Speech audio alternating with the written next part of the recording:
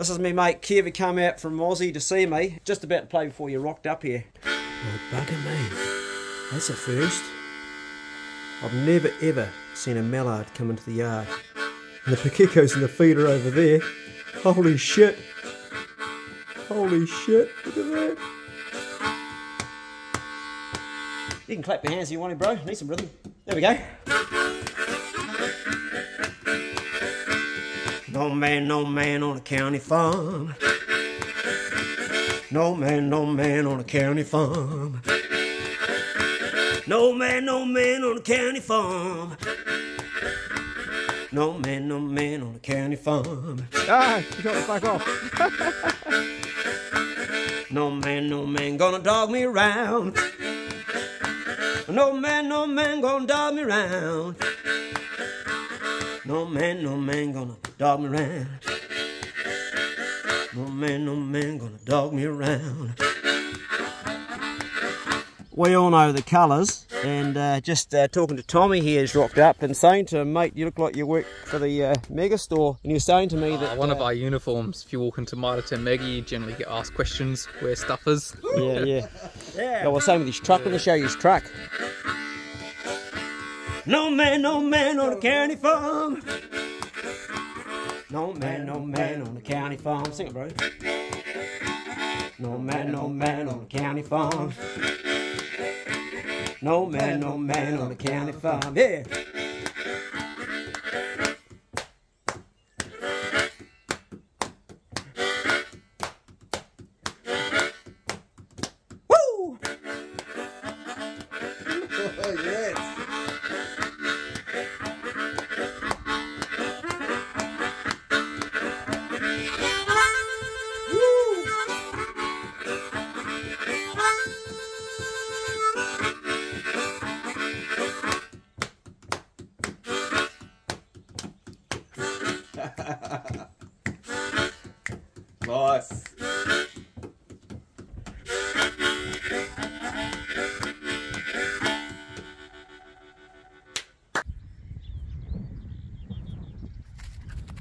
Good. That's good.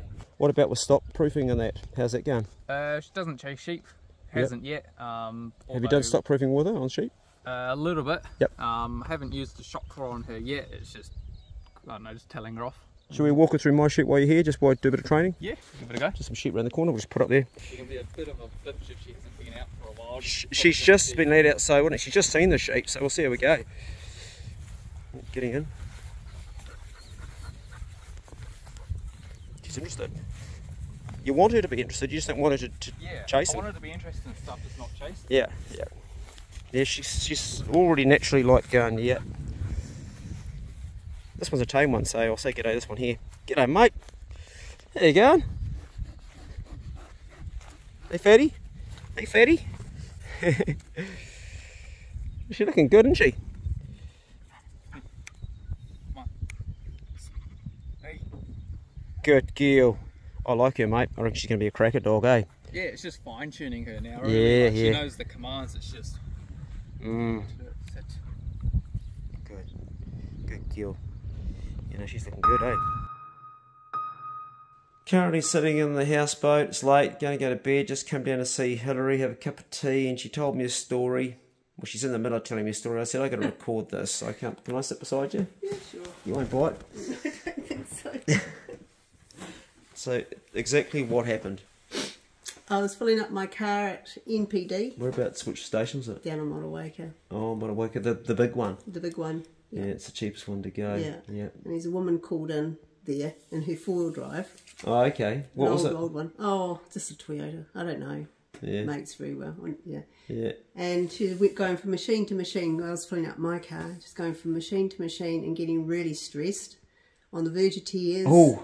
Oh, she was really Could, upset. could you feel her energy? When, oh yeah. Yeah. And it was a a desperate sort of despair, like Yeah. you know, yeah. like she really needed to get that petrol. So I said to her, um, I said, I'll pay for it. And she said, you can't do that. And I said, I can. And I just swiped my NPD card through and pinned it all in. And I said, 95. And she said, yes, yes. So 95. And I said, there you go. And she sort of stood there and went, But people don't do that. Everybody's broke. People don't do that. She said, Can I give you a hug? And I said, Yeah, of course you can. She asked for my name. So I said, Cheers. I said, You better get filling. And got in my car and drove away. Wow. And she had the biggest grin on her face when I moved away. Oh, So it's that's just like, such a cool story. so I just thought, wow. That that moves my heart. That's what it's all about. Yeah. And, Yeah. and how did it make you feel? Oh, great. I, I felt good because running a business and our fuel bills are so huge Yeah. with the diesel and Diesel's got ridiculous, yeah, isn't it? yeah. And so another $140 or Still your money. $80. Oh, it is, but, Yeah, good on you. but overall. That is so cool. You know what time it is, Super Duck? Hey? It's time to check the mushrooms, the mushrooms, the mushrooms. Time to check me mushrooms to see how they are. Oh, me mushrooms, my mushrooms, where are me mushrooms? Down here on the bunker, that's where they are. And how are they doing? Well, it's been two days and. And it's dark. Come on, light, focus. Oh, there we go. Holy cow, look at this! Oh man, that's happened in two days? No way! Look at this. I take them out here into the light so you can really see them. Focus, focus, focus, come on. Look at this, look at this. Isn't that beautiful? Wow. They're oyster mushrooms. And they've only had like two days since uh, Cam dropped them off. Thank you, Cam. So Cam's been helping me with my wood ear mushrooms that I'm growing down here. I bought some, uh, oh, what do you call it, mycelium, is that right? Spawn, and put it in there. So, got a bit of this stuff. Just give these guys a bit of a, a squirt. Just on the bag, not actually on the mushroom, and around here too. And I think this is going to be a really good place to grow mushrooms in my bunker. The old bunker. Happy days. Exciting. It's pretty bloody windy. I'm carrying this uh, this frame. It's an old uh, table steel frame. Going down to the ducks because the the duck that's sitting on eggs, her eggs are, are going pick, pick, pick on the inside. So we're going to have hopefully some ducklings for the first time. So far we've failed.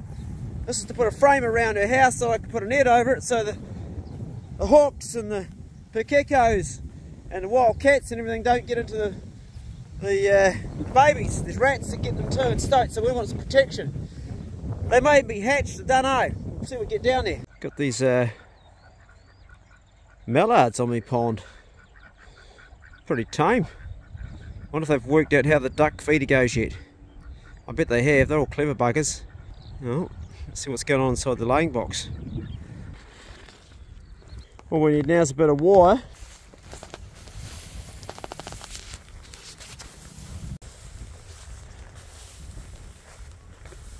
So far I've done half it and that's all I'm going to do for now. That way she can go to the feeder, get water and come back in. Once she's got her babies, going to close it right up, block the holes in the bottom and cover the top and then I'll put some feed in there for the ducklings and for her and a big bowl of water and that can be her house until she raises them big enough to be safe from predators. That's the mother duck there having a big old feed. She's been sitting for that nest a long time. So while she's doing that, we're going to look at her eggs. I've uncovered them and these guys are going to hatch soon I reckon. Anybody got any cracks? Don't see any. Put the old one to my ear and have a listen. Well that one's got nothing. They just must be due by now though. That's got a that's got a tapping on it. Definitely definitely a duckling in that one. Oh, We'll get them covered back up and leave them. She can come back in a minute. Keep them nice and warm until she comes back. In New Zealand, you'll be eating asparagus right now. That's the roots of the crown there. That's another one coming up. And another one. And these uh, roots are exposed because Peter the pesky pukeko has been into them. I was faced with do I shoot Peter and make him into pukeko stew or do I do this? And I did this instead. I put a net around my plants. That will also keep the ducks off and everything else that predates on them and right now I'm planting this uh, it's called Cavolo Nero is the, uh, the I think the Latin term for it but actually I just call it Tuscan Tuscan kale it's a nice kale and it grows these big dark green leaves. So I'm putting that in the ground uh, just between my asparagus just to utilise the ground. So I've got asparagus here and I've got asparagus over there. I'm going to put uh, a few of those kales in. So this will be a kale plot and also a asparagus plot. But I won't get asparagus for another year because these crowns only went in this year. They take a couple of years to really go. This uh, pump goes when the sun's out and I use it to water my wasabi and also circulates the water stopping it being stagnant and stopping it breeding mosquitoes. Very very handy to have it. It's got seaweed in it and worm juice so it's sort of like a fertiliser as well. Do all the plants in it. We're not using it, we just pop it back down here and it circulates again. The wasabi likes a lot of shade so we keep it well covered. Some of my baleage got wet, so I couldn't uh, sell it or use it for feed. As you can see, it's quite wet. But what it's really good for using is as a mulch. I've mulched all the Cavolo Nero kale, or Tuscan kale as I call it, and the asparagus in. Well, other than a bit of water, it should be pretty much a hassle-free garden over summer. And pull the old weed out. You get a bit lost down there, are you? Hey? It's almost haymaking time, isn't it? Trying to come through this grass. Pace just jumped straight over Tilly. Tilly's staying right under my feet, going through the grass because it's so thick. Otherwise she gets lost. You look, I've walked through here and she's right there the whole time. Oh there she goes, she's broken away now. Oh no, she's still there. Just going through these tracks. Hardly get through it. Grass for miles. Bloody beautiful this paddock, I love it. Dogs love it too. You guys watch this. I'll start scratching the grass, you watch. She come over. She can't help herself. She can't help it. There you go, look. Looking for grubs, aren't you, mate? You think I'm there? Yeah. What's that there? Is it a slug? Hey, what's it, super duck? What's it there? mm, it smells nice, lemongrass. Hey? Very, very tame. Very tame, aren't you, eh? Very tame. Hey, mate, you know what time it is? Do you know what time it is? Do you know what time? Hey? Yeah? What time it is? It's time to check the mushrooms, the mushrooms, the mushrooms. Time to check the mushrooms to see how they are. Mushrooms and mushrooms, time to check the mushrooms down there in the bunker, that's where they are. Gonna check me wood, dear, me wood, dear, me wood, dear. Gonna check me wood here, right down here. And down by the bunker, we'll also find some oyster, oyster mushrooms. Focus, please, for me. And how are they doing today? Holy cow! Man, they have grown. I'll take them out so you can see the light. Jeez. Oh, smell nice. That is six days. Holy smokes, they are heaps. Okay, uh, might give them another day or two. Apparently you can get a couple of fruits out of them, like you whack all that off and then they fruit again, and sometimes even three. Cool, well my wood ears aren't grown, but uh, that's uh, the oysters. And the other ones, they should be soon, but the wood ears are, yeah, they're to take a while I think. Pretty dark in here. Put these guys back up. And what I'm going to do is just give everything a bit of a squirt again. Keep it nice and moist. And for you guys that asked, that there is a cream separator. That's right. You spin this here, and this uh, wheel starts spinning. Centrifugal force. Doesn't need much, and it keeps on going. I think the cream goes up in here, but uh, hasn't been used for years. That'll spin for ages. Pretty cool, eh? Right, carry on with this. So, Bigsy and Pace have just had a big scrap, and Pace is going to the vet. Pace, come. Pace, come. Up you come. Good boy. Pace, up here. Up here, boy. Pace up. Up. Pace, up. Good boy. Up. Good boy. He's got multiple uh, multiple wounds on him. Yeah. Lucky to be alive, ain't you, mate? We've got two under his neck. The top's ripped so many times, won't staple gun that up. So Damo's run to the vet. I've got it already sorted right now. I'm on the edge of uh, thinking about. Well, I'm going to definitely get uh, Bigsy neutered, but uh, can't tolerate dogs fighting. It was not good at all. And even with us both, they weren't listening at all. That'll do. Yeah, not good. Bloody not good at all. Nothing to see here, Super Duck and Ducky. Come on, move along. You good girl, Poe? You stay there. Good girl. You're not a good boy, are you? No, you're a bad boy. It's got a few bites on him from Pace. But uh, you put Pace in the hospital, didn't you, mate? What are we going to do with you? I'll tell you what, mate. You should enjoy your nuts while you got them because they'll be going very soon. Come on. Sheep's wool, great mulch for the garden. Going to put a net on this soon. Going to take the seeds off all these and put them in packets for later on for growing. And this here is going to come off and we're going to make terraces when all of the grass underneath it has died. Pick up.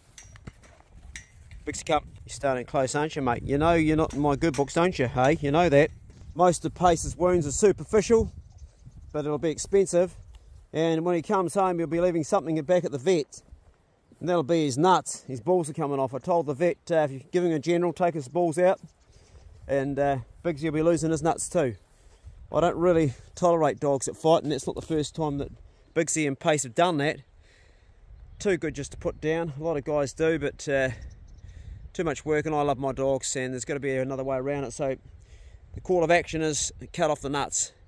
It does lower testosterone, it can decrease the aggression, it doesn't decrease the prey drive. A lot of guys think it do, it doesn't. Some of the best dogs I've ever known have had no nuts. Chun, who was my old dog, had no nuts, brilliant dog. But uh, we've got to do something because today was a bad fight. Uh, Damo had them both by the kennel. You saw Pace, he's, he's opened up quite a bit. And uh, I'm left with nothing really much other than do than uh, take that step. It's been an expensive week and uh, it's cost me quite a lot of uh, anxiety and stress, but that's part of having pig dogs at a higher prey drive. And in fairness to the dogs, I haven't been hunting them much uh, while my health is it's getting better, but I need probably another few more months before I'm back in the bush doing that. I'm going to walk them through the uh, sheep here. I'm going to leave you guys with my mate Kev, who came out today. It was good to see a Kev. Kev come out and he, uh, g'day mate, he gave us uh, some dog roll, some posse yum, and he gave me some folding, which I said, I don't want that mate. And uh, he just wanted to make a contribution. Well, the amount I'm going to spend this week at the vets, uh, his contribution will go to some of it because it's not, not cheap. But anyway, that's what we pay, the price for having dogs. These guys here, they are so friendly now. I come in each day and just hang around them. The old ram, I was, had me back to me the other day and I was holding the phone like this and I watched him coming in and he put his head down. I turned around I put my boot out. He was going to bump me up the bum. One of you said something to me. You said oh, I should watch uh, with this uh, lamb ewe because it's it's a ewe that the rams might start mounting it soon. So I'm going to have to put her in a separate packet. Separate packet, a separate paddock. She puts if she goes into a, into a packet, packet, that means I've cut her straight. We've we've cooked her up and she's lamb stew, which she could become. I'll leave you guys with uh, Kev and me doing old song Dog and Knife, which is uh, I think it's my Quarry Treed CD. He never hurt in his life before and he joined in and uh, I'll leave you with that for, for an outro of the video. Be good, can't be good, be careful. And if you make it to the song, well done. Well, there they go. Beautiful. We don't care if the antis cry, if it flies, then it dies. Boom, boom! Duck tonight. Come on, Bo, let's go. Come on. Good boy. It's a good boy. Oh, it's a good boy. Right? I always hoped he'd sing, eh? But he doesn't sing. You know how some dogs you play Oh. harmonica and they're, oh, Yeah. we won't sing. What's the story, eh? Don't sing?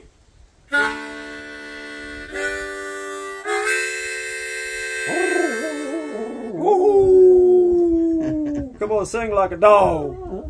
Hell, hell hand. He's looking at you. He's got. He's going to put white hairs all over your black. That's alright, mate.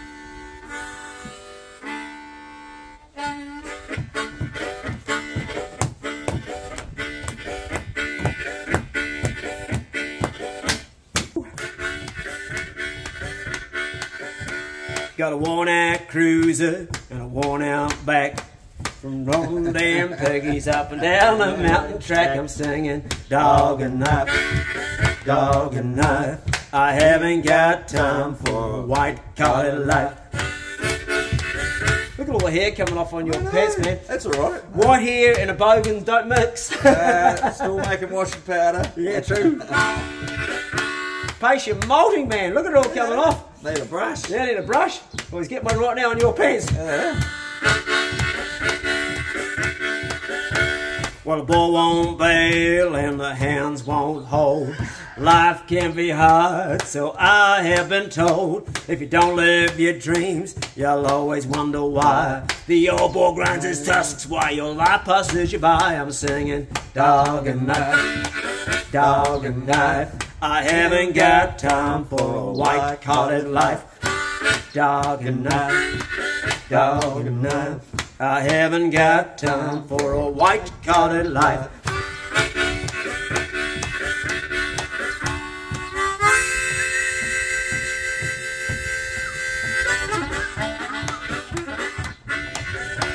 Got a Ridgeline shirt and a Magnum 44. Cause sometimes you need just a little bit more.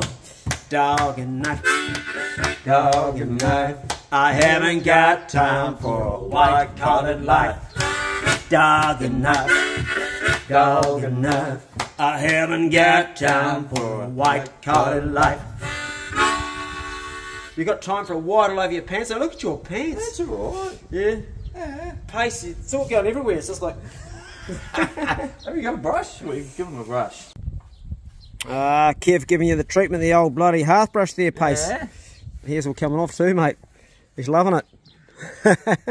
Look at his coat coming Oh, like. take it all day, mate. Oh, he loves it, eh? Look at Yeah. stick his face. Oh, that's the spot. Yeah, he loves that there, eh? He's enjoying that. Get that winter coat all off. There's a heat coming off him. Normally don't don't like being brushed the wrong way, but he doesn't seem to mind, does he? think, uh, well, that's I've I've heard that's the way to do it. You brush the opposite way, then you go the other way. Yeah, yeah. That's the way you You get get off. more that- yep. resistance to Yep. go the opposite way, apparently. Yep.